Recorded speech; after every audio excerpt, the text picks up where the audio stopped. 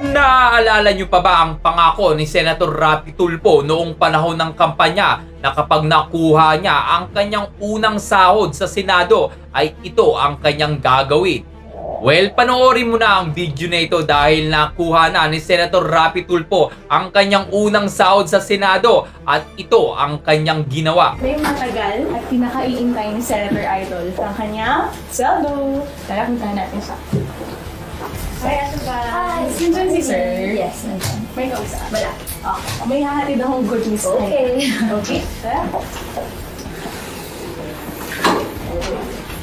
Sir, good morning. May baon akong good news for you.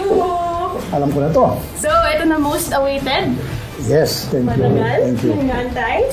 Thank you, Alisa. Eto na. Ha! Tingnan nyo. Paki-zoom.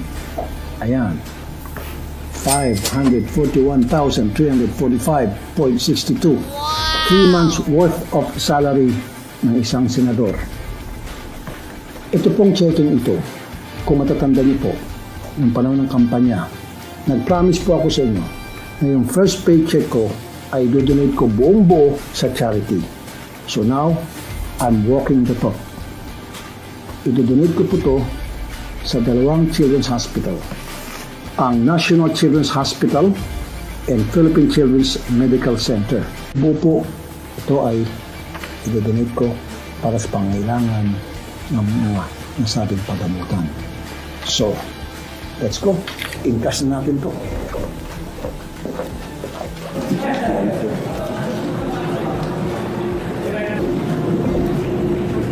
talagang ayaw mong bitiwan yung pagkuha sa jet eh.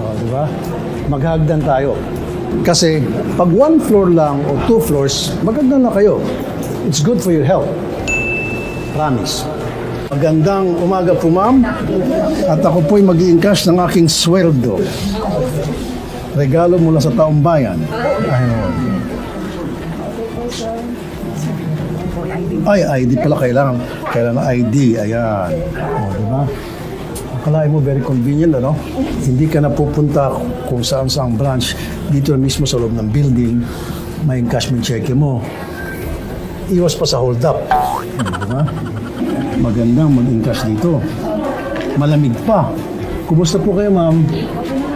Anong pangalan niyo po, ma'am? Si Ma'am Emma. Ayan. Matagal na po kayo nag-work sa land bank. 27 years. Maayos naman pong pasweldo ng land bank. Pag hindi, patulpo nyo. Okay naman yung land bank, siyempre.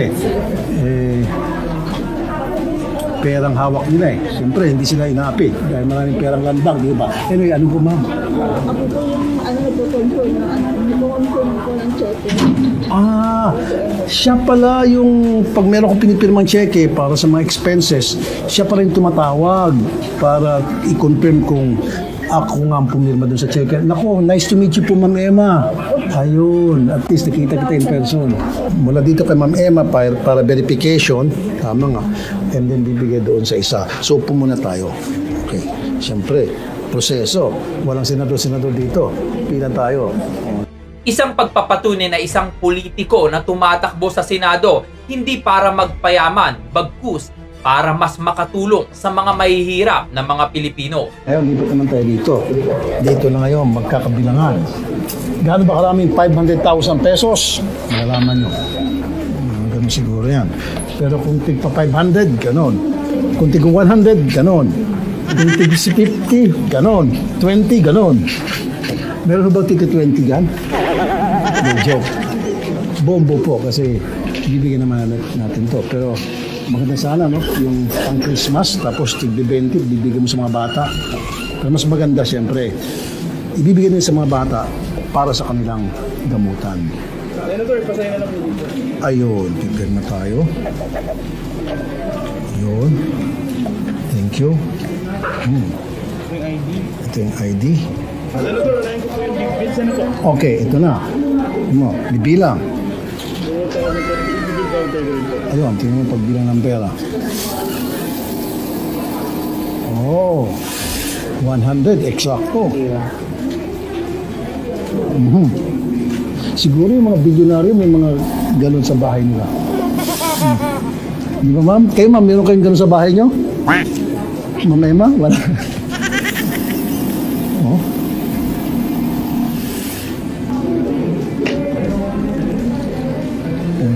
$100. Pang 500 yan. Yan.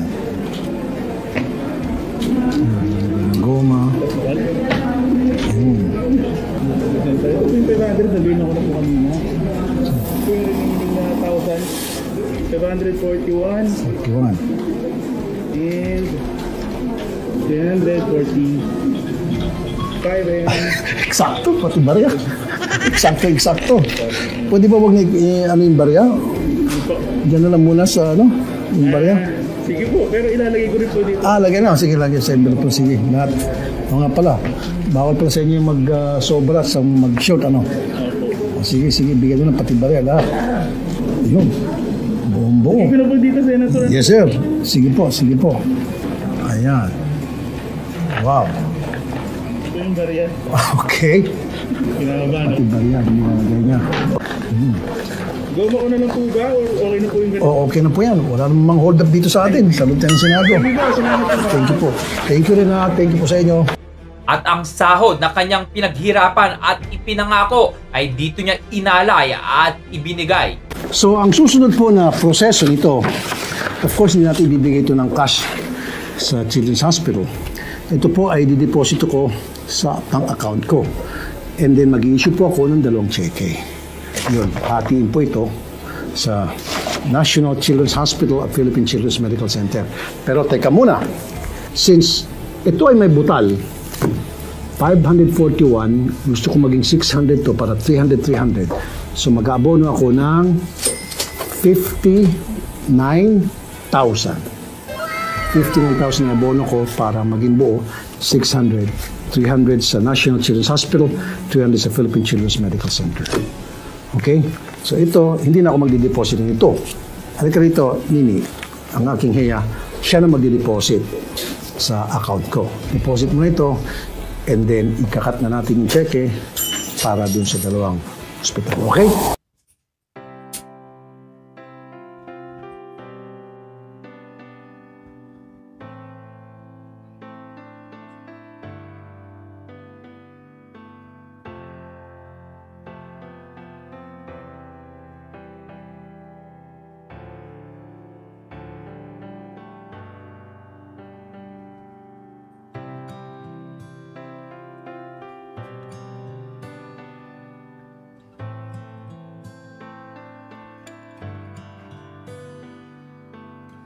Physical therapy lang po ito na area. Maliit nga rin. Mali- maliit po. din po.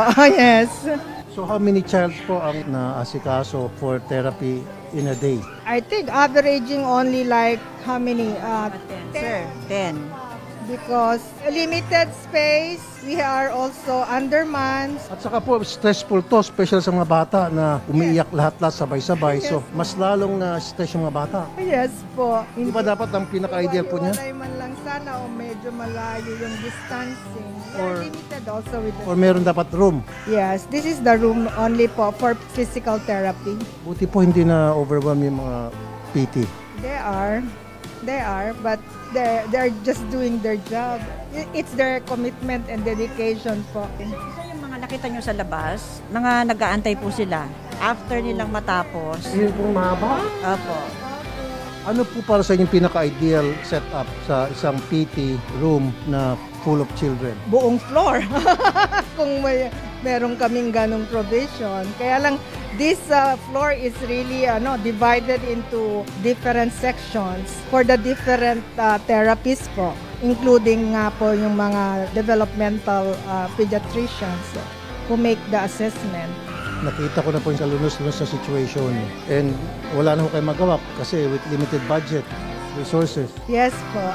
Sana po ito ma- makita to lahat ng congressman, makita po lahat ng mga taga Department of Budget and Management kasi pag hindi lang kikita po to, hindi nila maintindihan.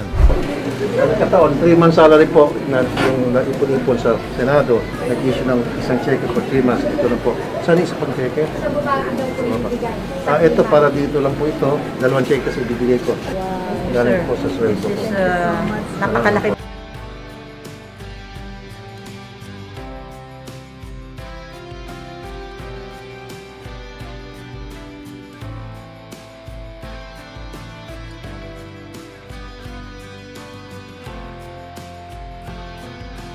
Kaya naman ikaw bilang isang Pilipino, ano ang masasabi mo sa ginawa ni Senator Rapi Tulfo sa kanyang unang sahod sa Senado?